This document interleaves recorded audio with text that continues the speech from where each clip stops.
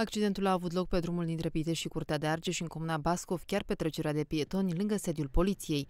Un șofer de 47 de ani a dat peste o femeie de 70 de ani care era deja la jumătatea trecerii în momentul impactului.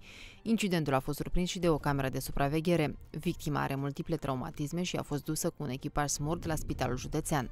Șoferul a fost testat și la alcool test a ieșit o valoare de 1,29 la mie alcool pur în aerul expirat. Conducătorul auto a fost testat cu aparatul etilotest, rezultând o valoare peste limita de 0,40 mg per litru alcool pur în aerul expirat, motiv pentru care bărbatul a fost condus la o unitate medicală în vederea recoltării de probe biologice pentru stabilirea alcoolemiei. Polițiștii au făcut dosar penal șoferului pentru vătămare corporală din culpă și pentru conducere sub influența băuturilor alcoolice.